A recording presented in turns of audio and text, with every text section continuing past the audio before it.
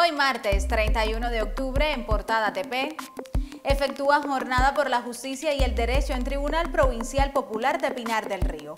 Capacitan a personas jurídicas y naturales a propósito del proceso de bancarización y conocerá las principales noticias que comparte en Internet la prensa pinareña.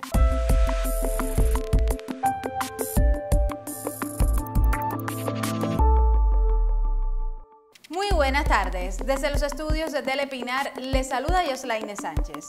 Gracias por la compañía. El Tribunal Provincial Popular de Pinar del Río acogió la celebración de la decimosexta Jornada por la Justicia y el Derecho, un acercamiento de los profesionales al ámbito científico. Radio Guamá publica que el encuentro estuvo encaminado a generar el intercambio de experiencias con énfasis en la necesidad de fomentar la ética en el ejercicio de la profesión. Además, forma parte de la conmemoración por el medio siglo de creado el sistema de tribunales en el país. Vamos a revisar ahora las publicaciones de la prensa provincial en Internet. En Telepinar, Cuba es electa para integrar el Consejo de Derechos Humanos de la ONU. En el periódico guerrillero, un maestro fuera de lo común en Pinar del Río. Y en la página de Facebook de Radio Guamá, lanzan convocatoria para talleres de actuación en la provincia.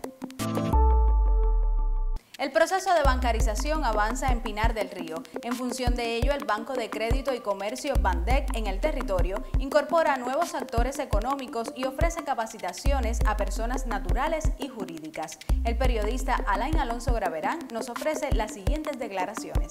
Estamos capacitando, muchas veces somos nosotros los que preparamos la capacitación, otras veces nos la solicitan.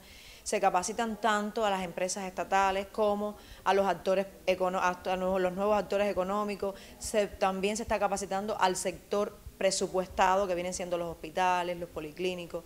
Se ha hecho un trabajo, un equipo de trabajo que en donde participa ETELSA, CETI, la Unión de Informáticos, los bancos, Joven Club donde eh, trabajamos en función de ayudarles y explicarles a ellos cómo funciona todo este tema de la bancarización, sus ventajas y los beneficios que tiene. Normalmente las personas tienen las dudas con eh, la extracción de efectivo, cómo adquirir los servicios, cómo hacer los pagos en línea, cuáles son los beneficios. Eso por lo general son las mayores dudas que tiene la población. Por hoy nos despedimos. Muchísimas gracias por acompañarnos. Le esperamos mañana al mediodía. Recuerde, hay más noticias por Telepinar a las 5 y 30 de la tarde. Nos vemos.